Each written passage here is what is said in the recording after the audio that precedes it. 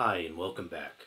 In our previous video we finished the process of booting our bare metal app and connected to it via the mini UART to see the console output. In this video I want to start the process of switching the exception level that the code runs in. The exception model of the ARM v8 architecture is laid out as shown in this diagram. Each exception level provides a different level of access to system resources. Each exception level is a different level of privilege, essentially. The current level of privilege can only change when the processor takes or returns from an exception.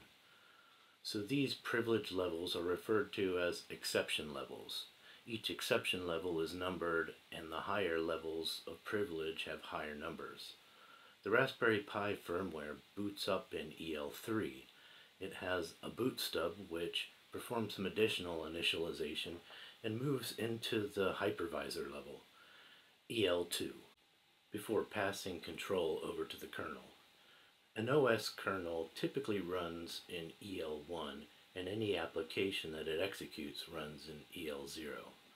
Let's start by printing out the value of the current exception level when our code boots up. Before we get started, I want to show a, um, something I have here, printf.h and a uh, printf.c, which, which I just pasted into this project from uh, Sergey's tutorial. And you see it's developed by this person here. So I just took the code as is, and I'm not going to go through it in detail. It's just regular C code. So, but in order to use it, we're going to need to actually initialize it with our uh, our UART send. So let's first uh, see put. We're going to create a put C function here that takes a void pointer and a char. Now we're going to ignore the ignore the first because we're just using UART, and I'm doing this same thing that I did in our send string, where if we send slash n, we want to slash slash r as well, and then we're going to send the character. So in order to initialize it, well, we first need to uh, include the header.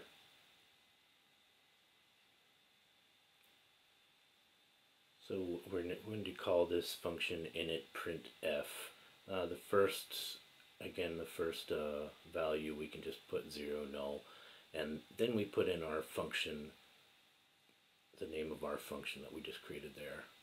So then we can actually change any of these UART send strings to a regular printf that every C programmer is familiar with.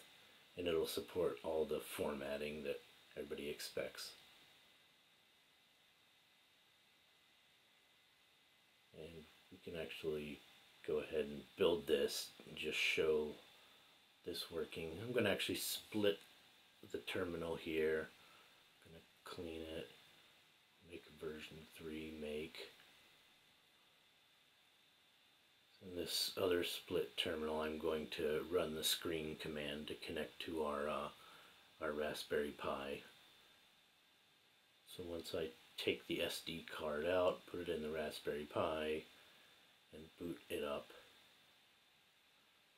there we see the boot up process, and there we have the Pi Bare Metal OS initializing board Raspberry Pi 3 done just to show that it still boots up the same. So let's create this utility function for getting the exception level. We're going to call it getEL. And what this is going to do here, we're going to use MRS X0 and current EL is the name of the special register to get that value from it. And then we're going to uh, left shift it to get the actual EL value and return. So now let's just add a add it down here somewhere. Let's put a slash in up there.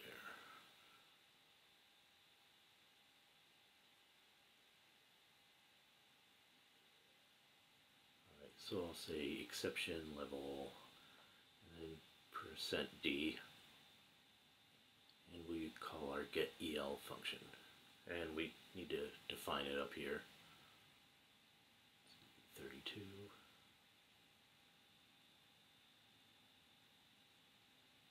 Alright, so now we're ready to rebuild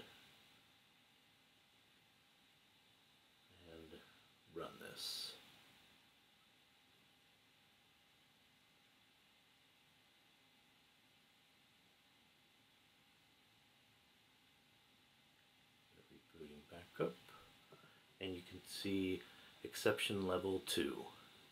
And now if you're following along with Sergey's tutorial here, one thing you'll notice is this kind of breaks things because when you go into lesson 2 here, if you go down here, he's actually expecting you to be in exception level 3.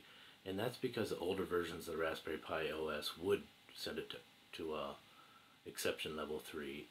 But if we go here to the tools section of the Raspberry Pi GitHub code, there's this code called ARM stubs.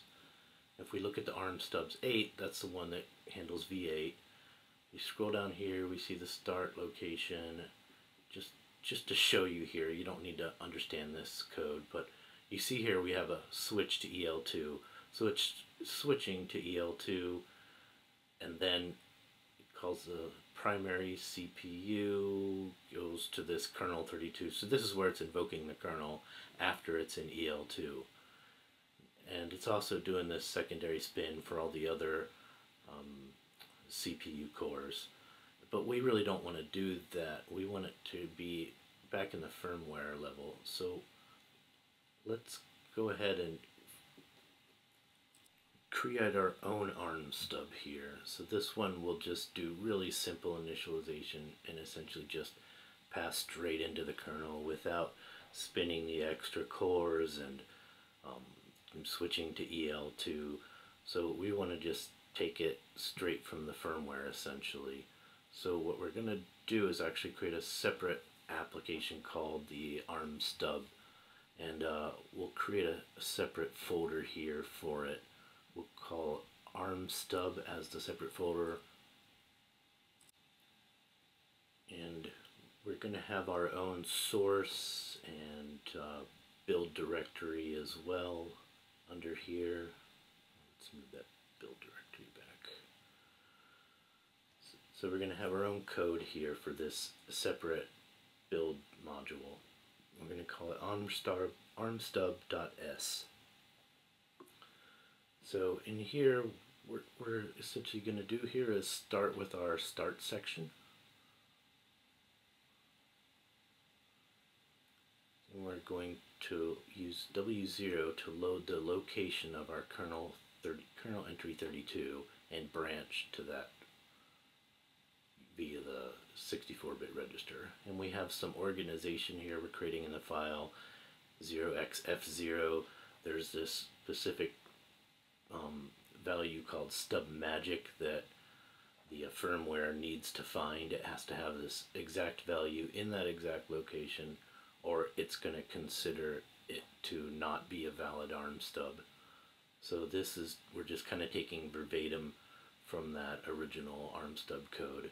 And then we also have here an ARM stub version, which is, uh, which version number is just a word zero. So now we have our actual location of our kernel 32 entry. And this is where it's going to jump to to start executing the kernel, which is going to be the value 0 to x0. So it's going to start from the very bottom of our, uh, fr from the very top of the binary file. So let's update our make file here. We need to create a couple of things. I'm gonna be lazy here and not add a bunch of extra variables. So I'm just gonna do armstub build armstub s.o. So I'm referencing our s file from the source. I'm gonna make the directory if it doesn't exist.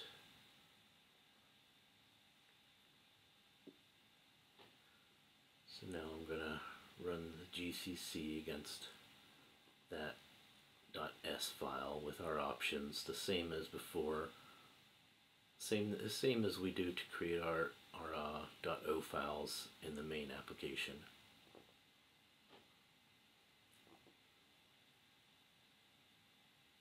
So now we actually have the ARM stub itself.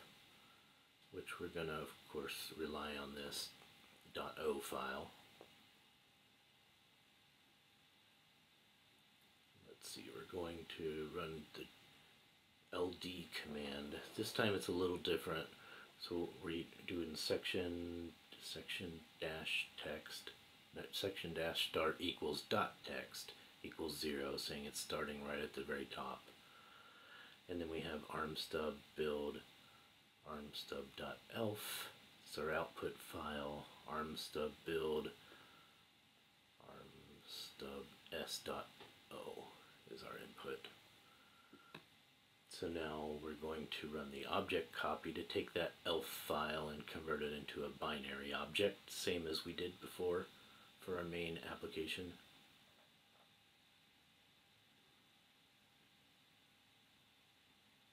So output type here is binary. And we're going to call this arm stub dash new dot bins so it doesn't conflict with the existing one. Then we're going to copy it to our boot, mount. And call sync just to make sure the SD card I.O. is complete. So me see, let's, let's just make clean here remake the main project and let's make the arm stub. Something's messed up here. Let's see.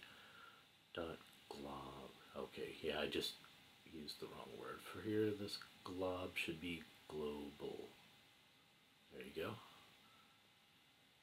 Let's make again. Oh, one more error. Let's see. Okay, see, I figured out a problem. It's this file here, this should be dash O because that's our output file. Okay, so now let's make, and we copied everything and it all worked. Um, uh, yeah, we need to update config.txt.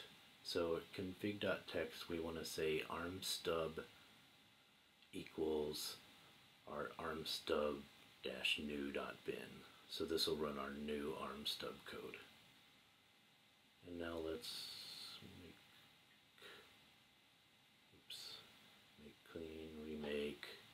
so that our config.txt gets copied over.